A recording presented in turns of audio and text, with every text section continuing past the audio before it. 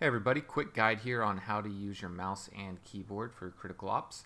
Uh, the first thing you're going to need is a, an emulator. I'm using BlueStacks. Um, there's a few different emulators out there. I think BlueStacks is the best. If you don't have it already downloaded, I'll leave a link in the description. Once you get that downloaded, go ahead and open it up. In the top right, you can search for Critical Ops. It'll be right here. So that will open up the Google Play Store. Go ahead and install it.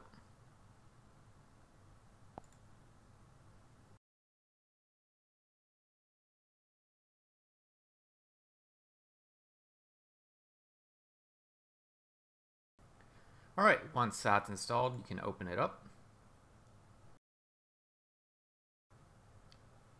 And if you have that error message, you can uh, go ahead and switch.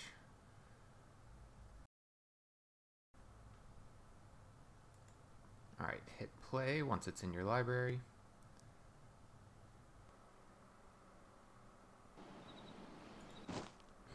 Alright, now that I'm in the game, um, I can move around with WASD.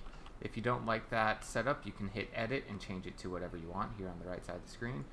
And that's pretty much it. Enjoy.